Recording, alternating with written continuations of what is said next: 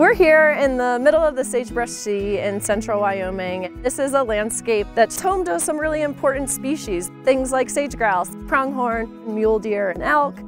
The Sagebrush Sea seems really vast and endless, but we're actually losing about a million acres a year from things like wildfire, invasive annual grasses, and other kind of human disturbance. The native plants really are the foundation of the ecosystem. They provide forage and habitat for all of the other animals, and so they're really important to be able to put back onto a landscape if you want to repair what has been lost. However, it's not as easy to just go out and buy native seeds. You might find seeds that originated in New Mexico, but you're trying to restore an area in Wyoming, and those two places are not the same, and so the odds of being successful with those seeds are not very high. Also, I can't just collect seeds and hand it to a grower and expect them to be able to grow it. That's a big financial risk on their part. And so there's cascading effects of all of that that really limit the seed supply that's available for restoration. We're really doing the research now so that we can provide them with the information they need to be able to be successful.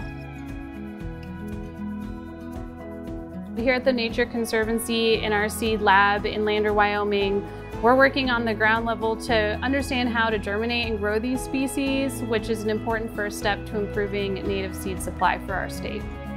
So the purpose of these lab experiments is to determine how to get these species to germinate. In nature, what would happen with these seeds is they would get blown about by the wind and their seed coat would get scratched up a little bit and that's necessary for the seed to uptake water. After I put the seeds into this petri dish, they'll go into a growth chamber, which will replicate spring temperature to determine their optimal germination conditions. Then we move them out to the field where it really matters, and we're working with our partners, the Bureau of Land Management and Department of Environmental Quality's Abandoned Mine Land Division to test these species at a reclaimed mine site. This used to be an old uranium mine and DEQ is now working on reclaiming it and putting back native vegetation. And we're seeing if these species grow well on these really disturbed soils. For this one, this is the lesser rushy milk vetch, and we are just here counting how many seedlings there are, and then we track their survival throughout the summer.